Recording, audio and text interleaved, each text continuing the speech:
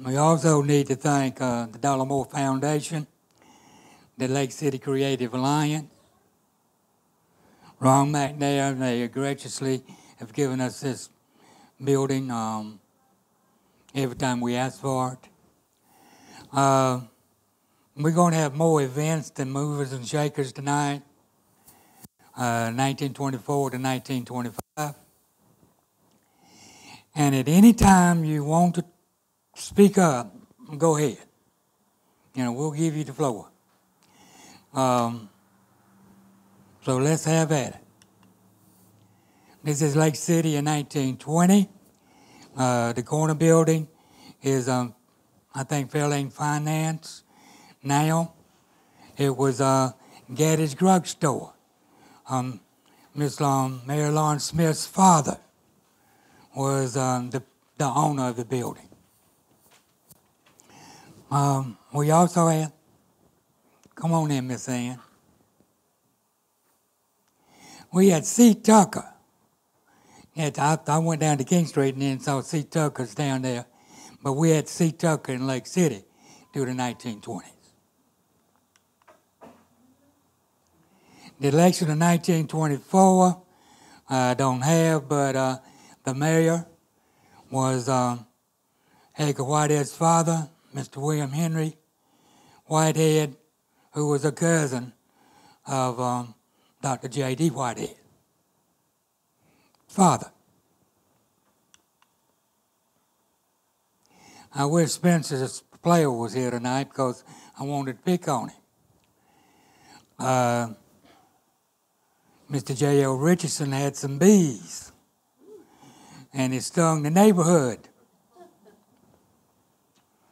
So they had an ordinance declared and saying that anybody keeping bees 150 feet away from the sidewalk um, was going to be fined. At the same time, an ordinance was passed to let the uh, chief of police have a stopwatch to catch people from speeding in town.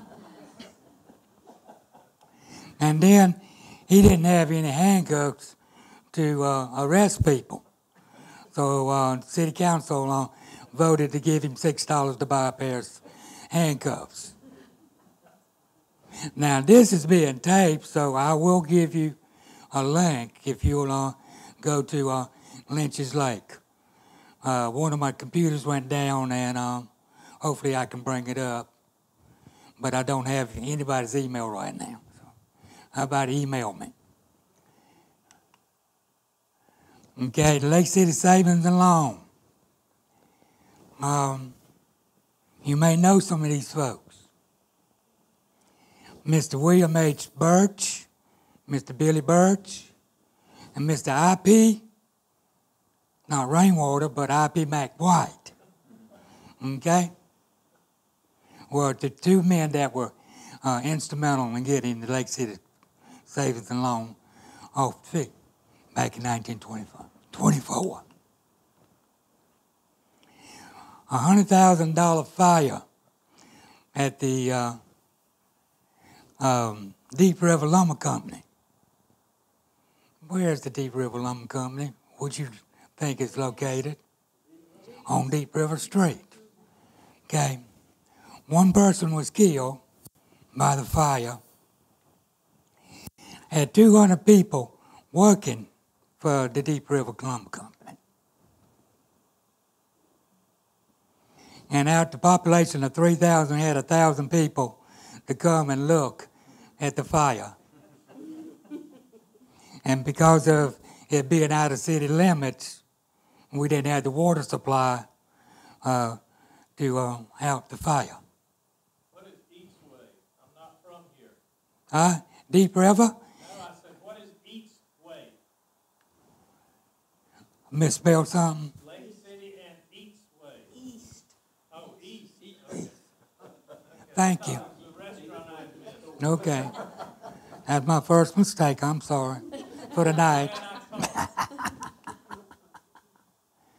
Miss Dot McElveen. She was the most beautiful girl at the county fair. it was the end of the tobacco season, and they had a parade downtown Florence, and Lake City's uh, entry was Miss Dot McElveen. And this is the float. And the driver was uh, Mr. Saddle Graham, the son of Mr. Todd um, Graham at owned Graham Warehouse.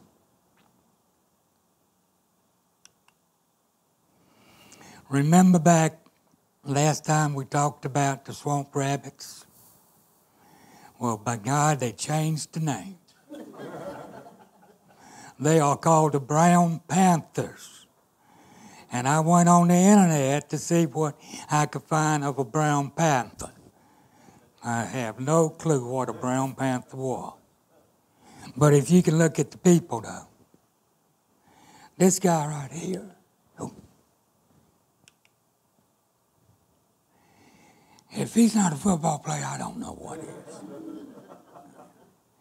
You have people like Guy McFadden, I was on the team, Wells Collins, the famous poet of Lake City, had Jack Stewart, Clarence Holloway, which was uh, uh, Earl Holloway's brother, Rollins Epps, um, Merck Epps, which is Eddie Epps' father, um, went down to Charleston to play, and we lost. Okay? Uh, this was taken in Charleston, right? Class of 1924. This class was actually one of the smartest classes of Lake City High School. Miss Flo Carmen, Mr. Slew Askins, Marion Lewis Askins is his real name. Um, Henry Epps or Merck Epps. Um, Mr. Page Godwin, which is uh, um, Mr. Page Godwin's father. Mordecai was a doctor. Mordecai um, Nachman. He married a, now he's Jewish, and he married a Gentile. And his father, would you believe, ripped off his shirt and declared that he did not have a son. And they buried an empty casket in the Lake City Cemetery, declaring that he had no son. Was he one of the mayors of Lake City? Yeah. No, his father was. His father was, right. Then we had um, uh, Hazel Tomlinson, the third grade teacher, Dr. Thad Timmons, Dr. J.D. Whitehead, Amar Willoughby. Okay? So this is a smart class of Lake City High School the Lake City Presbyterian Church. The Lake City Presbyterian Church bought the lot from the Lake City United Methodist Church. They were going to move the church from where the church is today to um, where the Presbyterian Church is. There was a heated dispute at the Methodist Church, so they decided to sell the lot to the Presbyterians.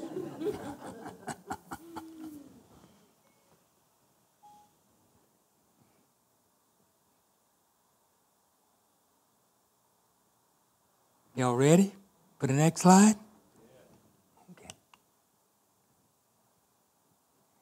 The attorney, I mean the attorney, Lake City attorneys, which was uh, um, Mr.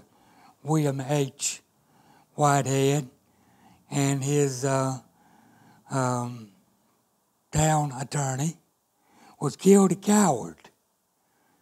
They were hit by a train and killed instantly uh, in January of 1924. I'm 25. In 1925.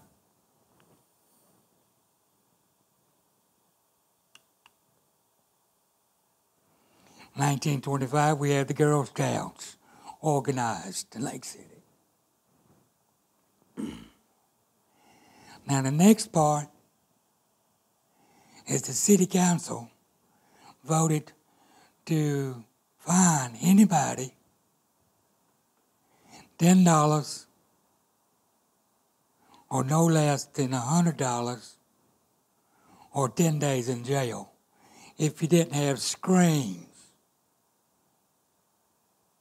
on fruit stands, hotels, restaurants, and such. Then we have the honor roll of 1925. Catherine Neesmith, you know who that is? That's Mr. Wright, the library. Um, Dr. Lamar Lee,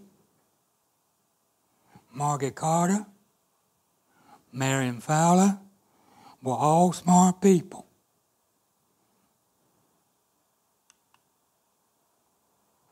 Big tobacco.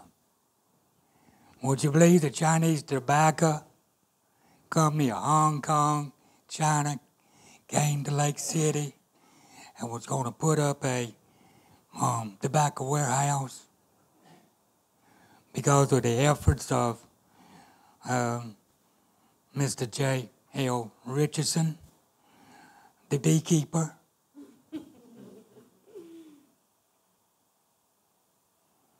but I don't think that ever happened.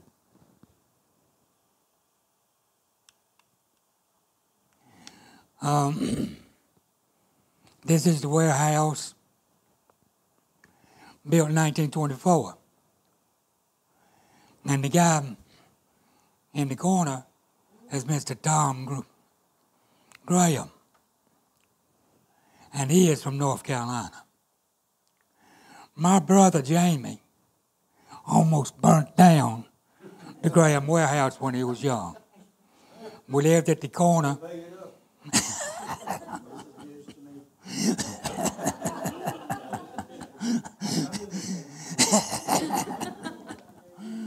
In 1953, the uh, Floyd brothers bought the warehouse. And it's located Church Street and um, Blanding? No, Church Street and um, Dancing. Church Street and Dancing. The class of 1925 had a pretty good crowd. Okay?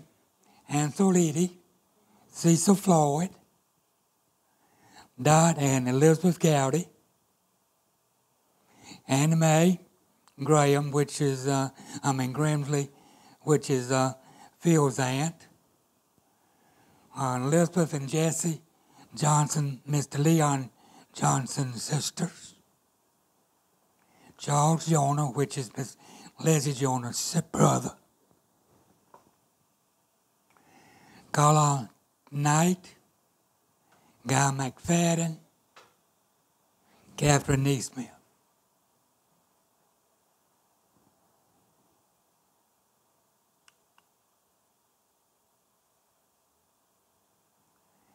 On July the 4th, we had 10 to 15 carloads. Carloads of squash and of cucumbers going to north, the northern part, uh, like Philadelphia, uh, New York, Boston area, and also the northern part of the state and North Carolina. Ken, where was the platform where they unloaded? Was it at the depot or? It was at the depot. You remember they took tore it down. It almost went to Thomas Street at one time. Okay, they tore that one section down. The Lions Club. Do I have any lions in here besides Woody? Say liars? Yeah. 1925, and then 1947, they rechartered the club. But Mr. Wesley Singletary was president. Mr. Wesley is uh, uh, Miss Mary Triggers' father. Where was the Biltmore Hotel? The where is the what? Biltmore Hotel. That was the Trulock Hotel. That was the formal name of the Trulock Hotel. Okay? Okay.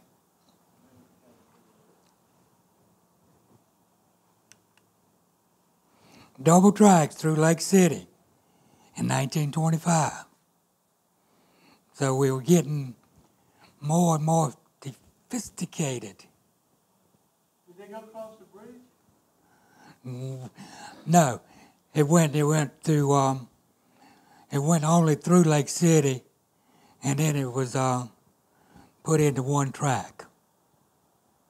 And then, when it passed the trestle, it was a double track. Western Union came to town from Richmond, Virginia to uh, uh, Miami, Florida and we were uh, at the Western Union. Before we had to go somebody else, I mean, like Kingstree or Florence, to use the Western Union. The Coastal Highway. Now, right here, Mr. Charles Kelly gave me this plat. This is the Coastal Highway and it runs right through Lake City. The Coastal Highway became the National Highway, which became Highway 52 in 1939. Okay? And it was a concrete road.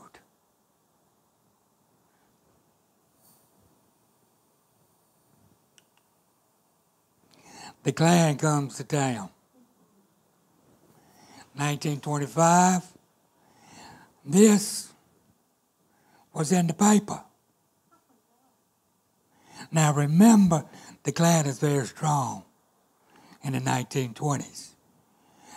Out the population of 100,000, 100 million, we had 200, I mean, 2 to 5 million Klansmen in the United States, and 50,000 Klansmen marched on Washington, D.C. So they met at the Baptist church, and they said,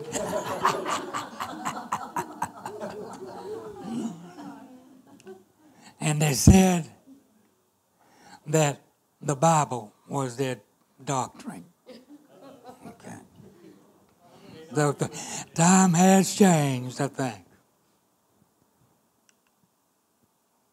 Okay. Dr. Uh, Luther Whitlock and Mr. Carlton McKenzie's father came up with the idea of coming up with a bathing pond for the young people. Okay? That was August the 5th. By August the 15th, they had um, convinced some entrepreneurs to buy Chandler's Mill. You know where Chandler's Mill Pond is? At Camp Branch. Okay, 80 acres. But, and they wanted the, the young people to stay in town instead of going to the Black River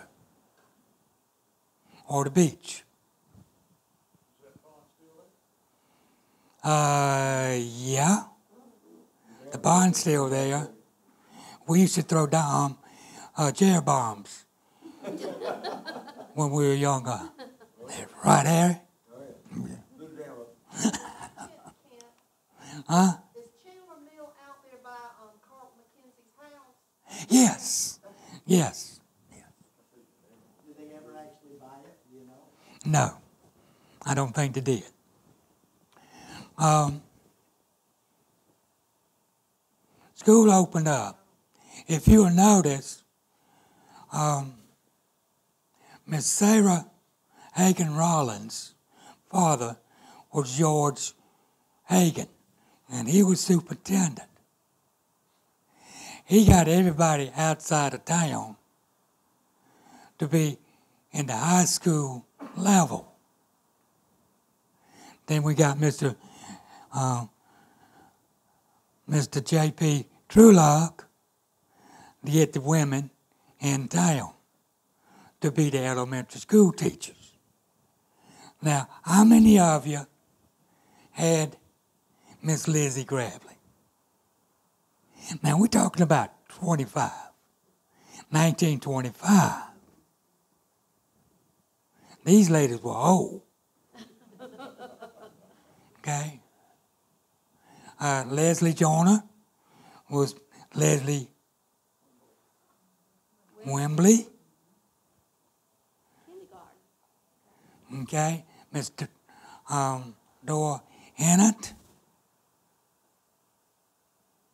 So these folks were teaching school when we were in school.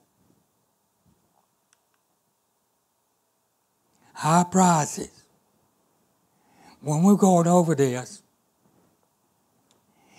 eighty, eight hundred thousand pounds a day in 1925. That's a ton of tobacco. At the year's end, they were estimating 20, 220 million pounds of tobacco. Believe that? And we had four tobacco warehouses at the town.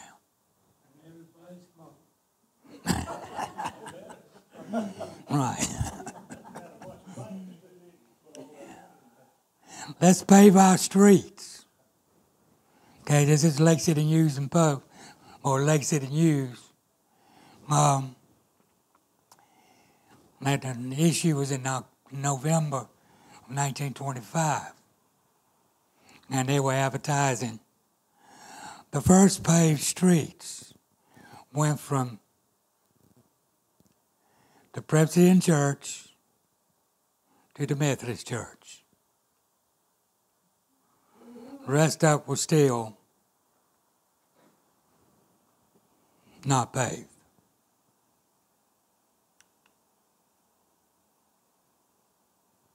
Nineteen twenty-five. Remember, we had that three thousand is wrong. The population Lake City is about two two thousand. Had thirty young people to go to college from Lake City. And a bunch of them you can go ahead and read. Um, Dr. J.D., Mr. Rat Whitlock, Merck Epps, Guy McFadden, Miss Beth Rittenbaker, Miss Hazel Tomlinson, Miss Helen Jonah Floyd, the two uh, Gowdy sisters. So we had 30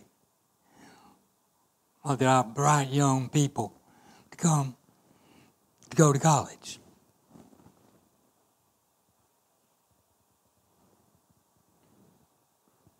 Okay? All right, I'm going to trust y'all.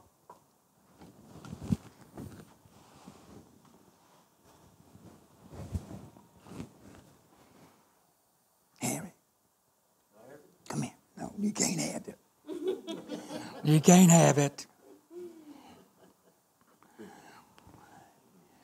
In 1925, we had Nu-Grape,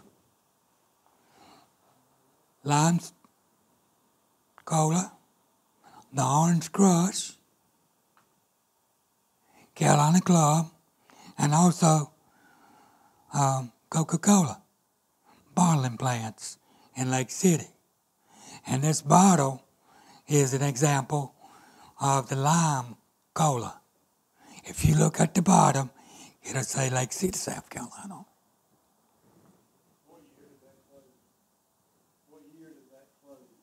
Now, I don't know. I can't tell you that. Was it on Alpine Street? I think, yeah, one of the, um, I think the storage unit or the warehouse was on that line. Right. Okay, huh? Yeah. Yeah.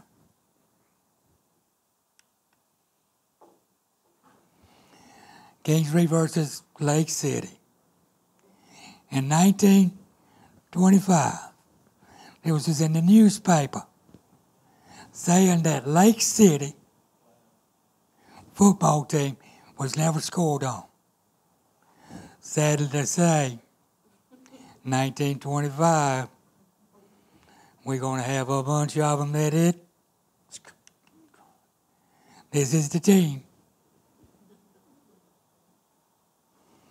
Okay?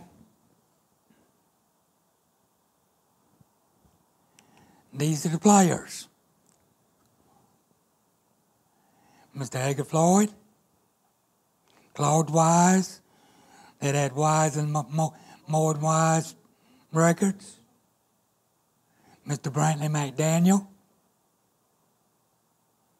Clarence Holloway, Rollins Epps. Look at the score. The first one was a safety. We beat Darlington with a safety. Then we had a bunch of losses 45 to nothing, 48 to nothing, 45 to nothing, 7 to 6. But we did win the last three. And we ended up the season by beating Lydia 60 to nothing.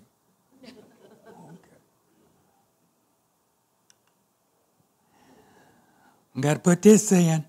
In 1925, even though Carolina lost Saturday night, in 1925, we beat, we Carolina beat Clemson by a score of 33 to nothing. And the Deep River Company is being put together. And they be ready for business soon.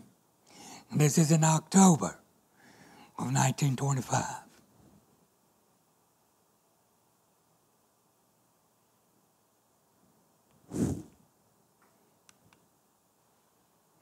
I'm glad you're here. 1925, the United Methodist Church sponsors, Lake City United Methodist Church, sponsors a new church. And it's at Browntown, which is nine miles east of Lake City. Okay?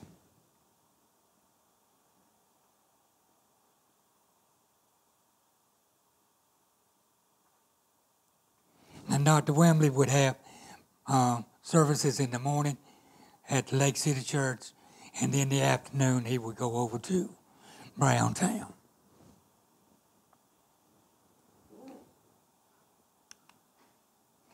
The roller mill.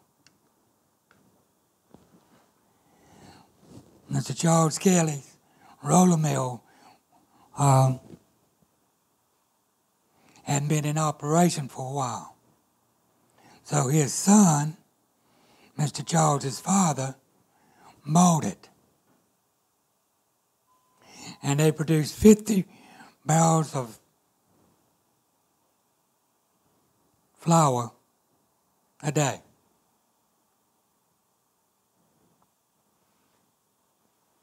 And this was where the South State Bank was.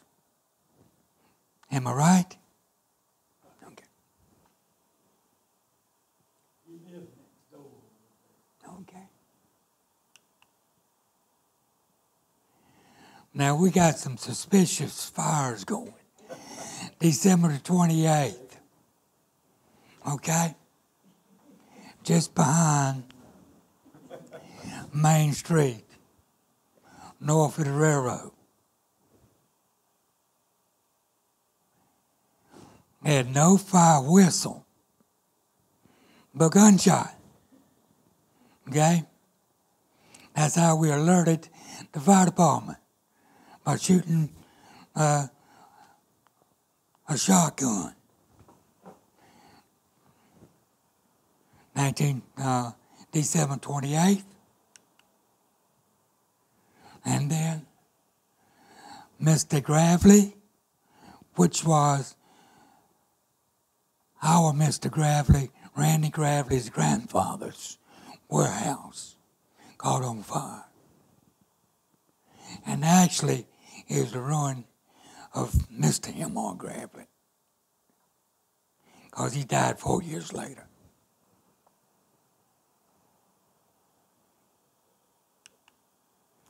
Next time will be January 22nd. We won't have one in December because of Christmas. 2018? 2018? 2019, excuse me. That's two mistakes I made tonight. Okay.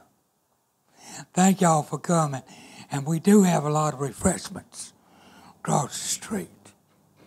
Thank y'all for coming. Thank you.